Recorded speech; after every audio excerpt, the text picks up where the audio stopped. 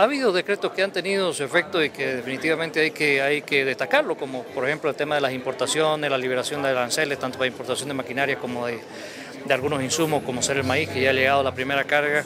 Pero ha habido otros que son fundamentales y que no han tenido una solución y no han tenido un, una respuesta como amerita y como necesita el sector productivo y, y el Bolivia en su conjunto, porque esto tiene que ver con, con, el tema de seguridad alimentaria, que es, por ejemplo, el tema del refinanciamiento. A nivel bancario sabemos que la deuda son del 3% y el 97% son de, del sistema de proveedor que no lo han tocado el tema. Y eso nos preocupa definitivamente. Y los otros pueden ser un paliativo, pero es fundamental que resolvamos este tema y no lo estamos tomando con la seriedad del caso porque no estamos viendo acciones concretas.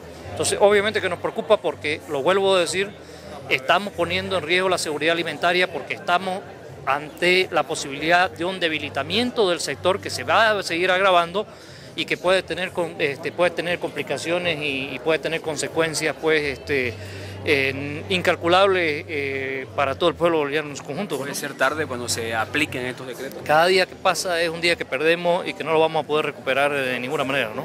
Eso tiene que quedar claro, ¿no? O sea, aquí se está poniendo en riesgo a una buena parte del sector eh, productivo pequeño y mediano principalmente. Si esto se sigue arrastrando, vamos a meterlos a todos en la misma bolsa y vamos a acabar, pues obviamente, eh, con un sector absolutamente debilitado y que no va a poder encarar la próxima siembra que tanta falta nos hace de una manera este, agresiva y como se requiere en estos momentos. Pues, ¿no? Entonces, por eso es que estamos poniendo en riesgo la seguridad alimentaria. No nos olvidemos que lo que se ha perdido hasta ahora no se va a poder recuperar, porque no funciona así, pues este negocio, ¿no? Entonces, lo que se ha perdido hasta ahora está perdido y punto. Necesitamos nosotros buscar soluciones que palíen toda esta crisis y este, empujen al sector en la nueva siembra para que podamos tener una, una recuperación. Pues. Las pérdidas hasta hoy, no se sabe todavía, el noveno mes, pero se han notado ya eh, los efectos. ¿no? no, las pérdidas son millonarias, pues no, o sea, ya hablar de un millón de dólares, de 100 mil dólares es millonario. Imagínense ustedes cuando hablamos de 200, 300 en algunos sectores, hasta 500, como ha denunciado pues la CAO, ¿no? Entonces definitivamente es pues preocupante, ¿no? Si hablar de 500 millones de dólares en un país como Bolivia no es poca cosa, estamos hablando de la estabilidad de un sector fundamental en la economía del país. En este momento, entonces, con esto no se ve de que se pueda lograr pagar esto de doble aguinaldo, que siempre se está hablando. De... No, el sector agro, agropecuario no va a poder pagarlo, ¿no? eso está claro. ¿no? O sea, por más de que el país crezca al 10%, como lo dije alguna vez, no lo va a poder pagar. Eso tiene que quedar bien claro. El sector agropecuario en este momento está fundido, está con una gravísima crisis y no le estamos dando solución. Hemos tomado medidas parches y medidas paliativas. Hablar de un doble aguinaldo en este sector sería una absoluta locura.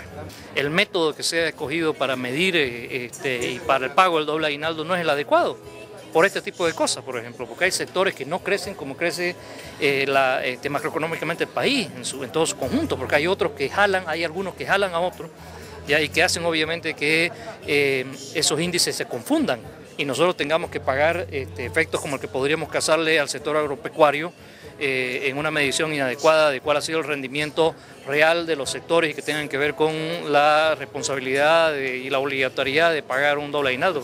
hay que charlar, dice usted, pero ¿se puede pedir algo alternativo al doble aguinaldo? Nosotros hemos mandado una carta hace tres meses o más al Ministerio de Economía para pedir que este tema se discuta. ¿No? Porque no solamente nos preocupa el sector agropecuario y otros sectores que están mal también, el sector textilero, varios subsectores del área manufacturera, del área productiva del país están mal. Y eso por diferentes factores, no tiene nada que ver con efectos climáticos como es el caso del sector agropecuario. Hay otras realidades en el país que están haciendo que otros sectores productivos se debiliten y prueba de ello es que la tasa de, eh, de empleo ha subido, de desempleo ha subido, pues no. Eso es una prueba clara de que realmente ya lo que no está funcionando bien en lo interno. Debe repensarlo el gobierno porque definitivamente no creo que el, doble aguinaldo en este momento signifique un real beneficio para los trabajadores de Bolivia, más bien al contrario. Entonces yo creo que tenemos que reflexionar sobre estas medidas, replantearlas y estamos plenamente de acuerdo y eso quiero dejarlo bien claro. ¿no? Estamos plenamente de acuerdo en buscar mecanismos que puedan mejorar la calidad del ingreso de nuestros trabajadores